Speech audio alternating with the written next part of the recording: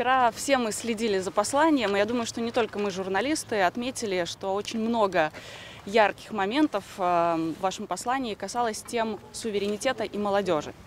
Особенно ярко прозвучала ваша фраза, я ее зачитаю. «Тот, кто сегодня посмеет уничтожить Беларусь, президент, правительство или еще кто-то, будут прокляты нашим белорусским народом.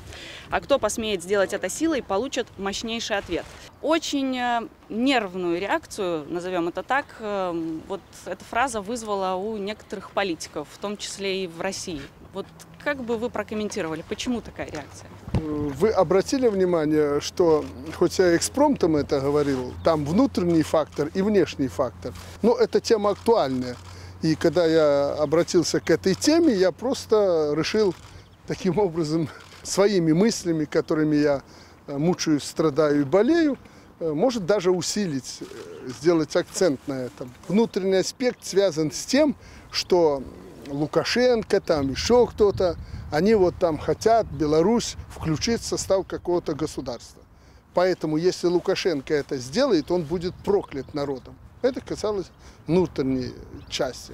Что касается внешней, ну, история же знает, сколько было таких случаев, когда э, силой то или иное государство Э, инкорпорировали, включали в состав другого государства, покоряли и так далее. Поэтому это был и внешний акцент, что если кто-то смеет, получит отпор. Зря страдают некоторые политики, и особенно в России. Я прочитал всю эту информацию, получив, ах, это вот против России.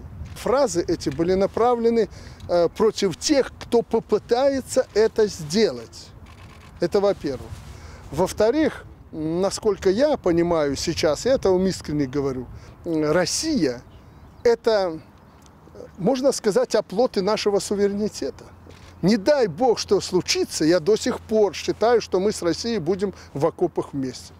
Поэтому не надо страдать некоторым в России политикам и брать на себя э, вот эти фразы, как будто они адресованы России.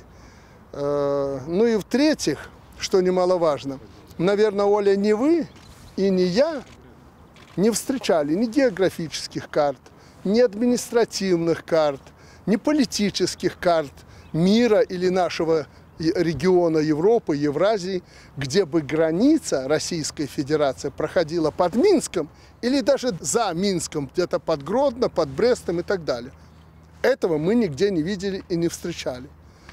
Э, дальше не хочу продолжать, другие карты есть. Поэтому тем надо думать, и в свой адрес воспринимать сказанное. Ну, еще, если говорить о нервной реакции, конечно, мы, журналисты, такие моменты особенно отмечаем. И вот когда был задан вчера вопрос о строительстве АЭС, мы отметили такую нервную реакцию у посла России, когда зашел о нем разговор. Вот э, в этом смысле как вы вот прокомментируете? Вы знаете, я не буду комментировать этот э, момент. Мне неправильно будет, если я буду комментировать, хотя я имею свое мнение.